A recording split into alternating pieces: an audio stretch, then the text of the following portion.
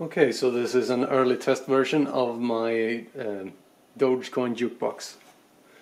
Um, what I'm intending on doing in the future is replacing this monitor with like a touch screen and building something with it.